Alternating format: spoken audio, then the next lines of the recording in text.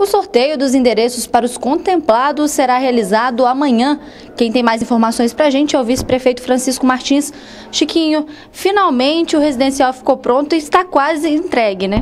É, então amanhã, dia 29, é, às 17h30, as famílias que estão recebendo ligação é, e aquelas que receberem a carta também, às 17h30, no Estrela do Oeste, aqui no centro da cidade. É uma reunião de trabalho onde vai ser passado todas as informações que o multuário da Caixa tem que ter e vamos fazer o sorteio de endereço. Importante ressaltar que amanhã nós vamos sortear 95% dos endereços. 5% nós ainda estamos trabalhando em pendências de pessoas que foram sorteadas com números abaixo do que nós já temos para que a gente possa completar. É importante esclarecer que teve muita gente que foi sorteado para o Quinta das Palmeiras, para o Copacabana e hoje está ligando para a prefeitura para saber que se tem que ir. Não. Vai ter uma lista na porta, não é uma reunião aberta, é apenas para pessoas que foram convocadas para esse sorteio. Só para reforçar, apenas as pessoas que devem comparecer são aquelas que foram comunicadas pela prefeitura. Só aquelas que foram comunicadas pela prefeitura, ou através de telefonema ou através de carta. Porque vai ter uma lista na porta, você tem que levar a carteira de identidade,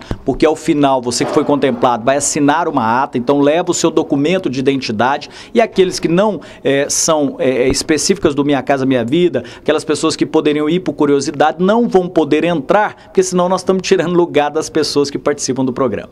Só reforçando então, o sorteio será amanhã a partir de que horas? Sorteio amanhã no Estrela, no ginásio do Estrela, aqui no centro da cidade, a partir das 17h30.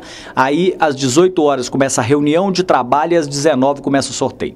Muito obrigada pelas informações. Mariana Milagre para a TV Candidez.